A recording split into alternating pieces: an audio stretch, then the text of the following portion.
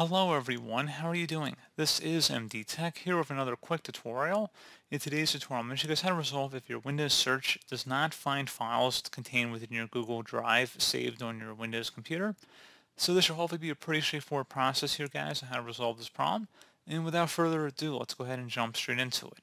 So I'd recommend starting by opening up the search menu, type in index, best match, come back with indexing options, go ahead and open that up and then you want to select the modify button.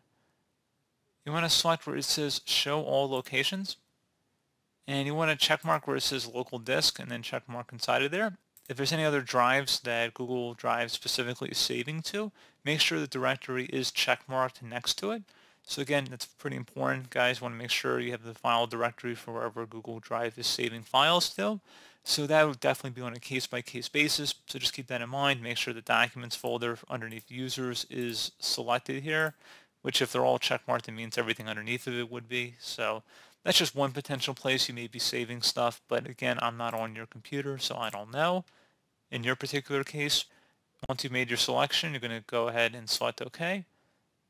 And then you would have to select Advanced, and then select Rebuild Rebuilding the index might take a long time to complete. Some views and search results might be incomplete until rebuilding is finished. Select OK. And then just give it a couple minutes to run here.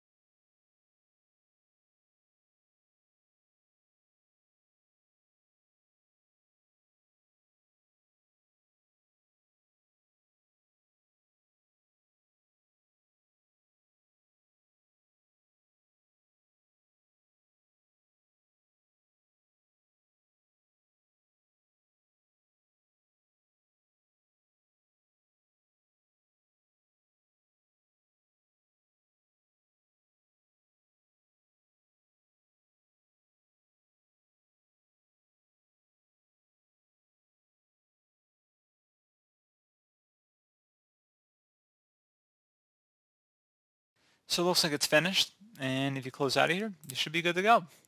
So as always, thank you for watching this brief tutorial. I do hope I was able to help you out, and I do look forward to catching you all in the next tutorial. Goodbye.